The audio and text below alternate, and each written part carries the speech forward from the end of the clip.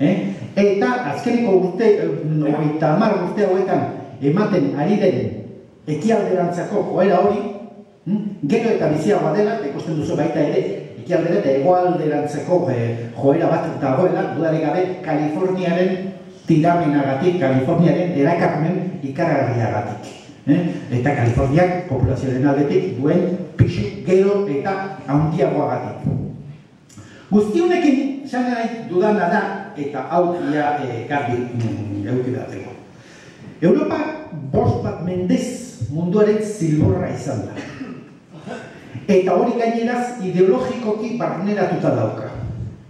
Behar bada gure kasuan, Estatu Espainolaren menpe eta zeran, mm, e, lausoagoa da e, irudipen hori, zeren eta bueno, ba, ahalmen ondiko garaiak oso urruti geratzen dira, Austria eta denboratan eta horrenakoetan, eta beraz, ba, munduaren zilbor izateko motibo berezirik ez du Estatu Espainolak, behitzat azkeniko berreun eta mm, berroita marrurte edo irureun urte hauetan. Baina Europako potentzia gehien, Batua, Frantziak, bai Alemania baita ere, eh, munduaren erdigunea izateko sentipena atzo goizer arte eduki dute. Eta esango duke, askotan oraindik ere sentipen hori bizit bizit dagoen. Klar, horrek eramaten gaitu pentsatzena gure arazoak, munduaren arazoak, edo mundu, munduaren arazo nagusiak direla. Oda, subjetiboki, eh, eramaten gaitu geure garrantziaren sobreestimazio bat edukitzera. Eta esan behar da, ekonomikoki munduaren ardatza aspaldi joan zen pazifikoa. Baina azteriko urte horretan eta krisiaren eraginez, ez bakarrik ardatz ekonomikoa, baita ere ardatz geopolitikoa, edo geoestrategikoa, edo deide ez aigun nahi dugun bezala, eh? Pazifikora joan da dago. Hau da, ez dut esango Europa eskualde marginal bat danik, baina da gaur egungo eszenategi mundialean bigarren mailako leku bat.